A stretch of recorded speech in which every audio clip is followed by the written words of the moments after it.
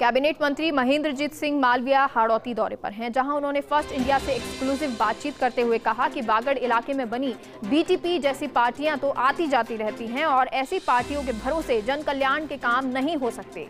Cabinet मंत्री मालविया से हमारे कोटा संवाददाता भंवर एस चारण ने एक्सक्लूसिव बातचीत की।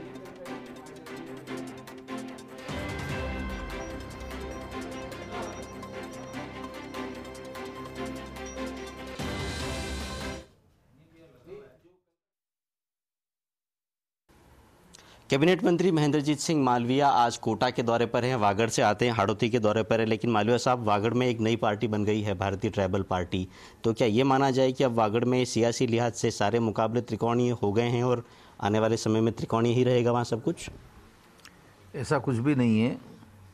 ट्राइबल पार्टी एक लोकल पार्टी है और समय और परिस्थिति के साथ में कभी पार्टियाँ इस तरह की बन जाती हैं।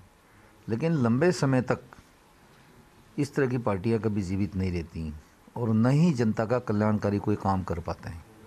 इसलिए ऐसी कोई बात नहीं है। सीधा मुकाबला तो भारतीय जनता पार्टी और कांग्रेस का है। ट्राइबल पार्टी है ज़रूर इसको अपन नकार नहीं सकते हैं। जी। आ- आप कोटा में हैं कल आपने अधिकारियों के साथ रिव्यू भी किया है। पानी की यहाँ पर बहुलता है मालविया साहब नदियों की कोई कमी नहीं है। लेकिन क्या आपको लगता है कि उस पानी का समुचित प्रयोग हो रहा है? क्या हाड़ौती में कोई नया डैम बनाने की कोई संभावना तलाशी है? देखो कल हमने अधिकारी की बैठक ली। और एक एक प्रोजेक्ट जो बना हुआ है और जो बन रहा है इन सभी के ऊपर चर्चा की। अधिकारियों ने अच्छा काम किया है। सरकार पूरी ताकत के साथ में लगी हुई है। और विशेष करके माननीय मुख्यमंत्री जी बजट घोषणा के ऊपर पूरा ध्यान हम सबको रखने के लिए कहा गया है। पूरी तरह से हम ध्यान रख रहे हैं। कल हम सभी अधिकारियों और सब जनता के साथ में नवनेरा गए थे। जी। उस डैम को देख के बहुत प्रसन्नता हुई। हमारे इंजीनियर्स ने और जो कंपनी काम कर रही है, इन्होंने बहुत बेहतरीन काम किया है। इस डैम के बन जाने से ये पानी बिशलपुर जाएगा और बिशलपुर पानी अगर पहुँचता है तो जयपुर की, अजमेर की जो बड़ी सिटी है, उसकी पेयजल की समस्या का समाधान होता है। लेकिन कई जिलों की समस्याओं का समाधान हो जाएगा अगर नदी जोड़ो परियोजना आकार ले लेगी मालविया साहब, क्योंकि बहुत से इलाकों में राजस्थान में पानी बहुत है, बहुत से इलाकों में पानी है ही नहीं। माननीय मुख्यमंत्री जी बार बार भारत सरकार को चिट्ठी लिख रहे हैं और निवेदन कर रहे हैं कि चौदह ज़िले की हमारी जो ईस्टर्न परियोजना है उसको राष्ट्रीय घोषित की जाए।